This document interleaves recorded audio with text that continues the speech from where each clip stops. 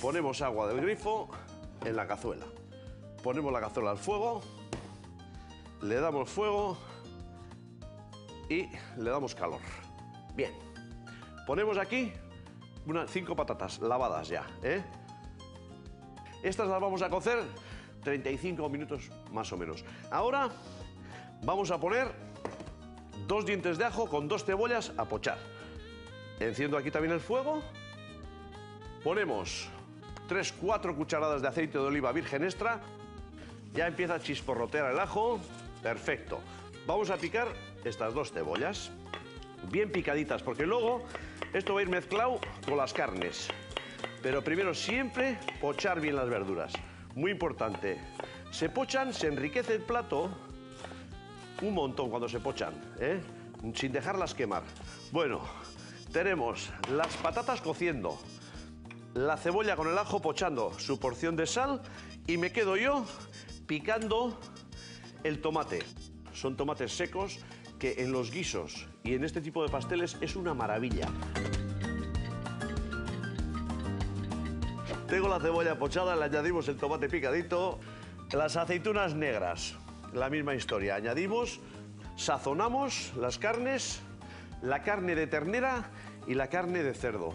Sal, perejil picado y le vamos a poner también pimienta molida, recién molida. Pimienta recién molida. Las patatas siguen cociendo, ¿eh? Ahí.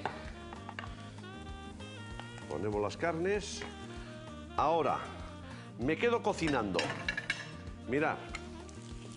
Estas carnes, para que quede suelto, se tienen que cocinar. Vamos mezclando y vamos cocinando. Esto lo vamos a cocinar aquí 8 o 10 minutos, a fuego no muy fuerte. Bueno, tengo el puré de patata. Esto a lavar. Mirad, este es un puré de patata natural. Fijaros si es fácil hacer un puré, puré de patata natural. ¿Eh? Así, bien. Le pongo una pizca de sal y una pizca de pimienta. Para darle chispita al asunto. Así. En el fondo abajo, patata. ¿Veis? Repartimos la patata. ¿eh? En el fondo, así, una capita que cubra todo el fondo. Que cubra el fondo. Encima de esa capa de puré de patata, la carne. Presionéis un poquito así con una espátula, despacito y buena letra. ¿eh? No hay que tener prisa, suavecito ya veis. Así, pero esto el resultado final es un 10 sin ningún género de dudas, ¿eh?